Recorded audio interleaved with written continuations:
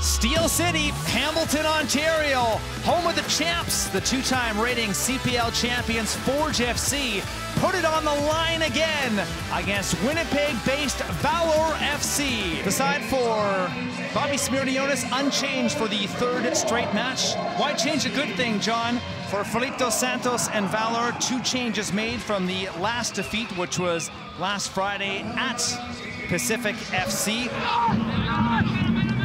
Collected again, but Terran Campbell is right on it. Leaves to David Choinière and a left foot hammered just wide. And Valour flirting with some early disaster. Samake getting his pocket picked early. One back briefly by Forge FC. Opportunity to collect Motonoglu. Plays the ball in towards the middle.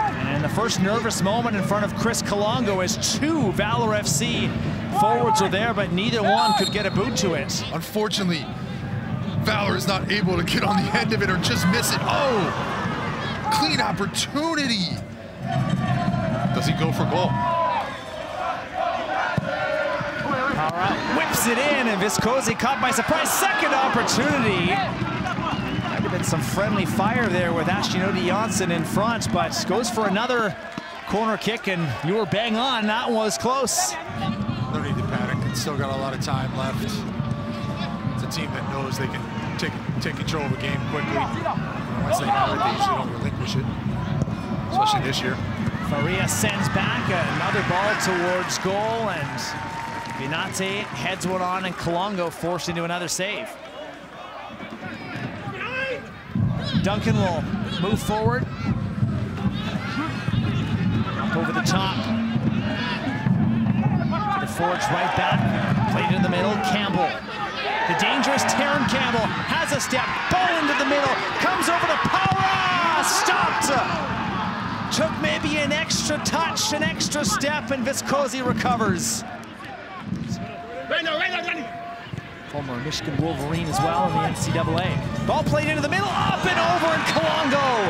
Fantastic stop, great reach, enough to deflect it over the bar. What a save by Kalongo late in the half. Would have been disastrous to give up a goal now. He makes a great parry.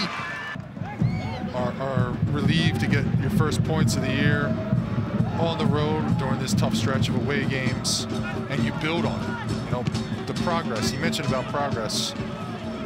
That would be progress for me. Faria, speaking of progress, puts the ball in. The man wearing number nine, Jordan Swibel, was well, a couple of yards off the pace. Looks like the switch that they made there with Facineri coming out moved Dante Campbell into Facineri's spot in the back line.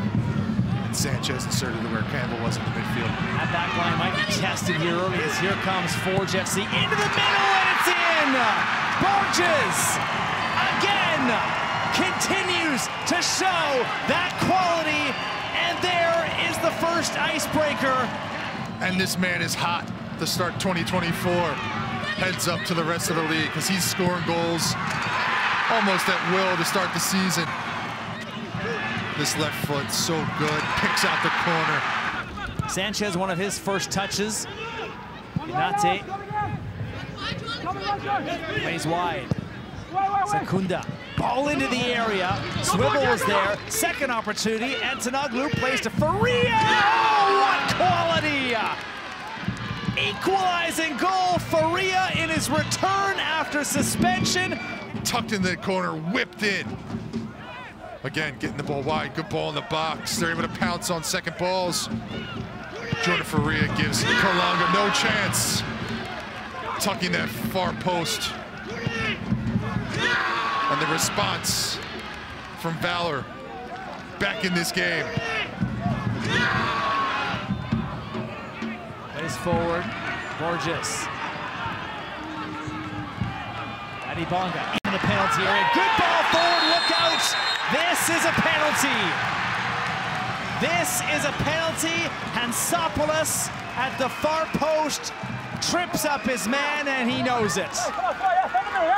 Benny Badibanga strikes off the post, off the outside of the post, and Valour stays level. Sanchez. Dante Campbell. Tonaglu, that left boot into the penalty area. Kalongo just gets enough. What a stop. Aided by the crossbar close to going down one. Oh my goodness. What a reaction save by oh. Kalongo into the box.